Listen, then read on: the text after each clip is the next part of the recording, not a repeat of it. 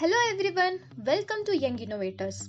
In this video, we will explore the simple concepts behind electronics, robotics and mechanics and see how we can build and simulate the circuits even without having a physical components with us.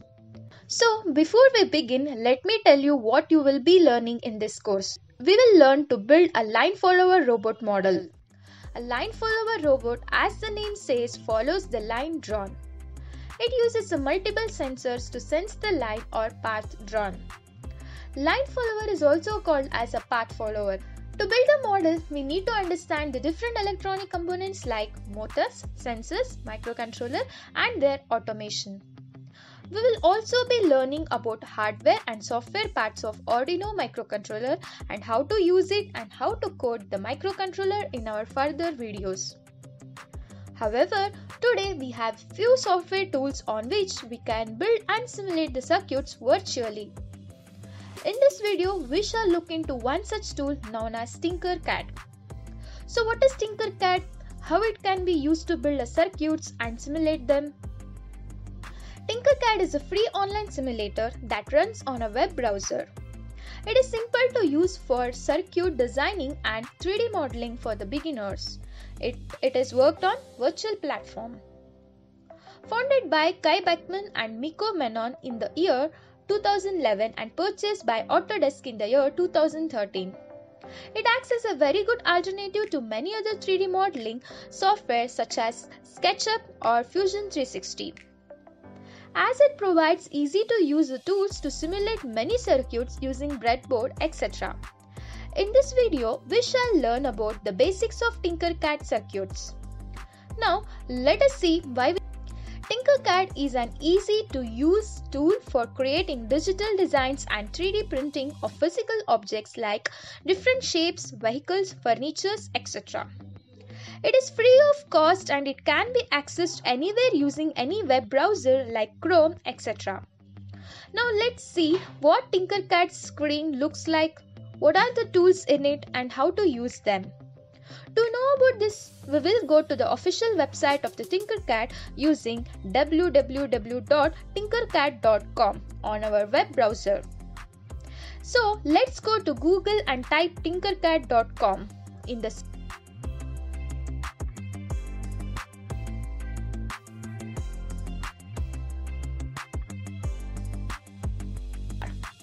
It drops me to the official page of Tinkercad where we have to provide the name and email ID to access the software. On the right hand side of the official Tinkercad page, click on the option Join Now. Once clicked, the page will now redirect me to the another page to create a personal account for the software. Create your personal account, click on Sign in with the Google option once done, it will directly land me to the Tinkercad main sheet. The main sheet displays a few options on the left side like a 3D design, circuits, code blocks and lessons.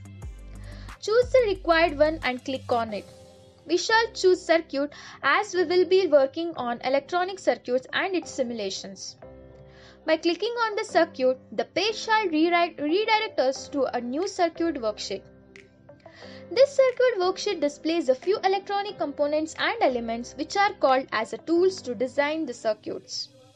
At the top left corner of the worksheet, next to Tinkercad symbol, a small title bar is seen where we can name or provide a title for the circuit that we want to design.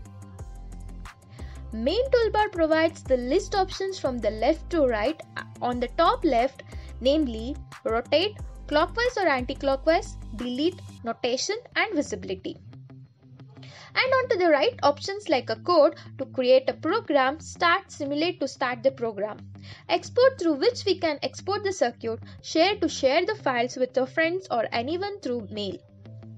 Below the toolbar, we have another tab called as electronic components.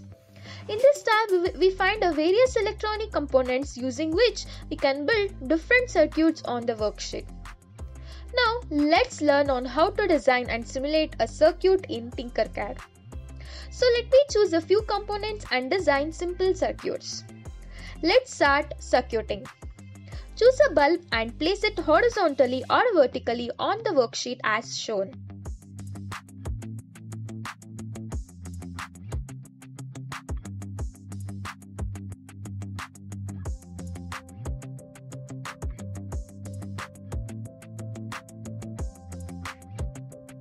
Now we shall choose a battery and place it on our worksheet. Now click on either of the components terminal to extend or drag the wires.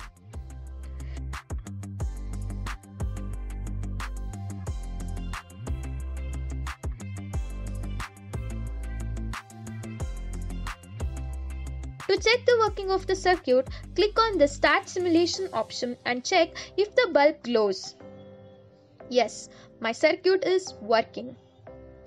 Similarly, let's create another circuit by adding the switch. You can choose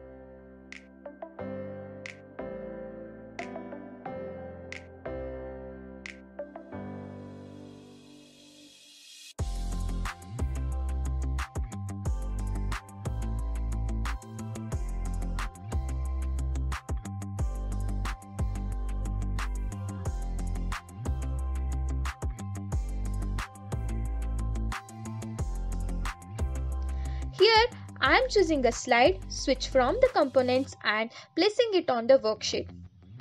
Complete the circuit by connecting the first the battery to the bulb, bulb to the slide, switch and then switch to the battery.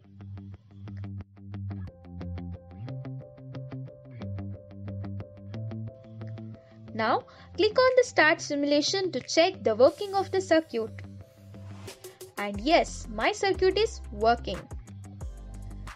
Now slide the knob on the switch to either side on and see the bulb turn off and on. By doing this, we understand the working of slide switch. This was a simple circuit design. Similarly, we can build more advanced and complex circuits along with Arduino programming using the Tinkercad tool.